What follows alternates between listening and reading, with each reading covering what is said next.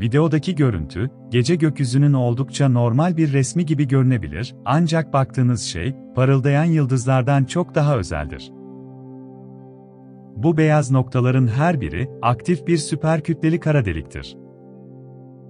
Ve bu kara deliklerin her biri, milyonlarca ışık yılı uzaklıktaki, bir galaksinin kalbindeki materyali yutuyor. Bu şekilde tam olarak belirlenebilirler. 2021'de yayınlanan bu görüntü, bunun gibi 25 bin nokta içeriyor.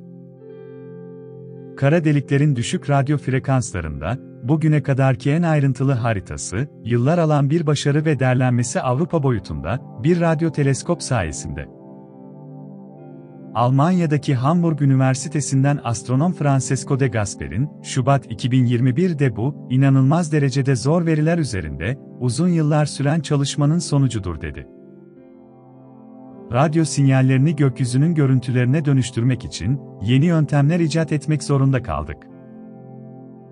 Fazla bir şey yapmadıkları zaman kara delikler algılanabilir herhangi bir radyasyon yaymazlar, bu da bulunmalarını çok daha zorlaştırır.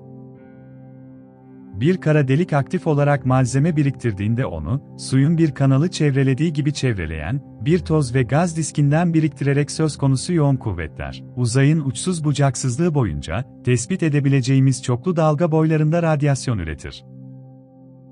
Videodaki görüntüyü bu kadar özel yapan şey, Avrupa'da düşük frekans dizisi tarafından algılanan, ultra düşük radyo dalga boylarını kapsamasıdır. Bu interferometrik ağ, Avrupa çapında 52 konuma dağıtılmış, yaklaşık 20 bin radyo anteninden oluşur. Şu anda LOFAR, 100 MHz'in altındaki frekanslarda derin, yüksek çözünürlüklü görüntüleme yapabilen ve başka hiçbir şeye benzemeyen, bir gökyüzü manzarası sunan tek radyo teleskop ağıdır. Kuzey gökyüzünün %4'ünü kapsayan bu veri yayını, ağın tüm kuzey gökyüzünü ultra düşük frekanslarda görüntülemeye yönelik iddialı planı, LOFAR düşük frekans dizisi gökyüzü araştırması için ilkti. Dünya tabanlı olduğu için, LOFAR'ın üstesinden gelmesi gereken, uzay tabanlı teleskopları etkilemeyen önemli bir engeli var, iyonosfer. Uzaya geri yansıtılabilen ultra düşük frekanslı, radyo dalgaları için özellikle sorumludur. 5 MHz'in altındaki frekanslarda, iyonosfer bu nedenle opaktır.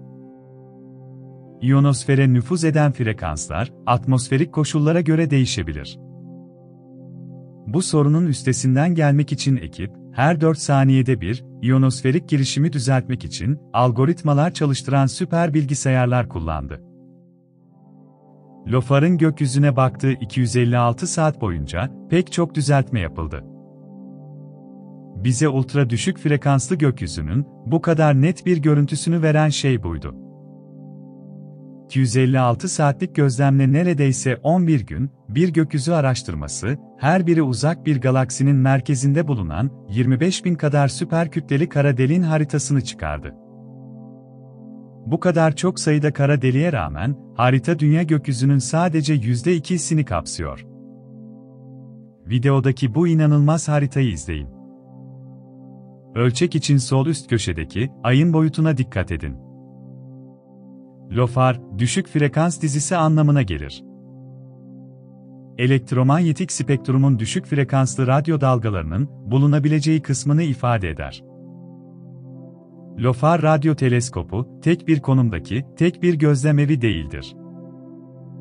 Bunun yerine, şu anda 9 farklı Avrupa ülkesine yayılmış, 52 istasyondan oluşmaktadır. Hollanda, Almanya, Polonya, Fransa, Birleşik Krallık, İsveç, İrlanda, Letonya ve İtalya. LOFAR radyo teleskopu, şu anda ultra düşük frekanslarda yüksek hassasiyetli, yüksek çözünürlüklü gözlemler yapabilen tek teleskoptur. Böylece etraftaki en derin ve en detaylı uzun radyo dalgası görüntülerini üretir. LOFAR düşük bant anteni araştırmasının nihai hedefi, teleskopu gökyüzünün 3170 farklı alanına doğrultarak, tüm kuzey gökyüzünü bu düşük frekanslarda gözlemlemektir. O amaca ulaşmak için, saatlerce gözlem süresi gerekecektir.